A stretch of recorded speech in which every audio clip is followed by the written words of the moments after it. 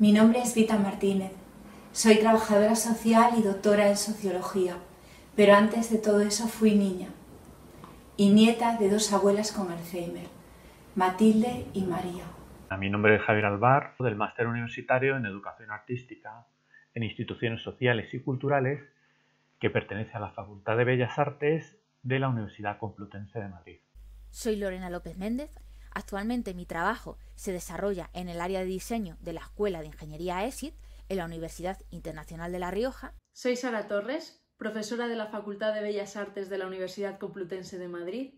Compagino mi labor docente con la gestión cultural de la Fundación General de la misma universidad, además de otras colaboraciones con museos como el MoMA de Nueva York. Vita, Javier, Lorena y yo somos los autores del artículo Cápsulas de Arte, Memoria frente al Alzheimer, que recoge las voces de distintas investigadoras que muestran la importancia de sus vivencias propias y sus historias de vida a la hora de desarrollar sus investigaciones en el campo de la educación artística aplicada al Alzheimer. Con frecuencia me pregunto cómo será mi vejez. Uf, y me respondo, no si cierto sentimiento de vértigo.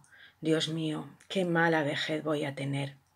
Todas, todas las cosas que me rodean estarán domotizadas las persianas sin cuerda, las puertas sin pomo, la tele sin botones, la nevera que pide las cosas ella sola la tienda, tendré que recordar números y códigos, pings, punks, claves de acceso o colores y sonidos.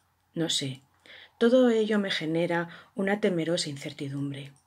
Salir de casa, pedir una cita médica o un taxi, comprar una entrada de cine o teatro, hacer la compra, leer el periódico, ver un museo, todo será a través de la tecnología. Un gran invento eso de la tecnología, si no fuera porque nuestra adaptación, o al menos la mía, es bastante eficiente.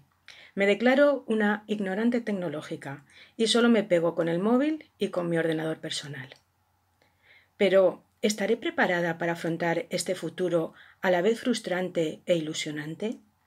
¿Recordaré los códigos, los colores, las caras? los sentimientos que me han llevado hasta ese momento?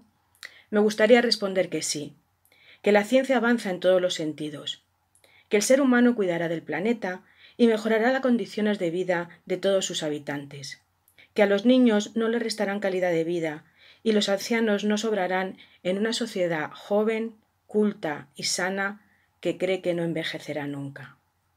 O simplemente no me acordaré de nada.